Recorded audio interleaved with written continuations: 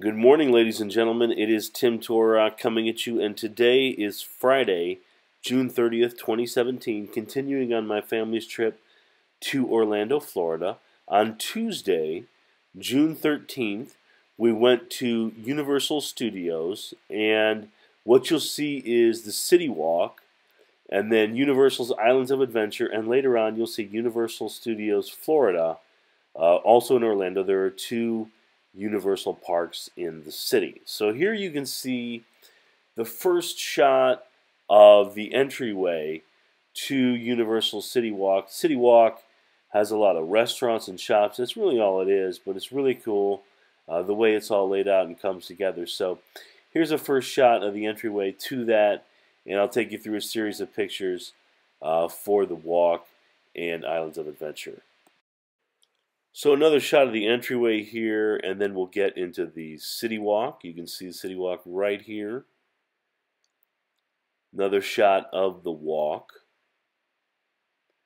And the port of entry is about to begin. Here you can see that beginning into Islands of Adventure. Then we get into Seuss Landing, based on Dr. Seuss. And here you, see, here you can see the cat in the hat. More Cat in the Hat. And there are a couple rides for the kids, of course, many roller coasters. Now we get into the Lost Continent, the Lost Continent area. And then you'll see uh, Poseidon's Fury coming up. And that is an attraction and ride as well. I did not take that. Uh, but of course, I don't like to do roller coasters. I get motion sickness. This is all the Lost Continent.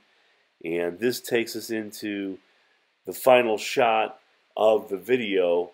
So here you here we covered uh, Universal's, of course, the City Walk, but also the island in the Islands of Adventure. We had the port of entry to lead into the park, Seuss Landing, and then the Lost Continent. And the Lost Continent then takes us on to uh, the Wizarding World of Harry Potter Hogsmeade. Now, now the Wizarding World of Harry Potter is split between the two Universal parks because at Islands of Adventure, Islands of Adventure has Hogsmeade, and then the train through Harry Potter takes you to Universal Studios Florida, which is the other theme park that Universal has, and it, and at Universal Studios Florida is the Diagon Alley portion of Harry Potter.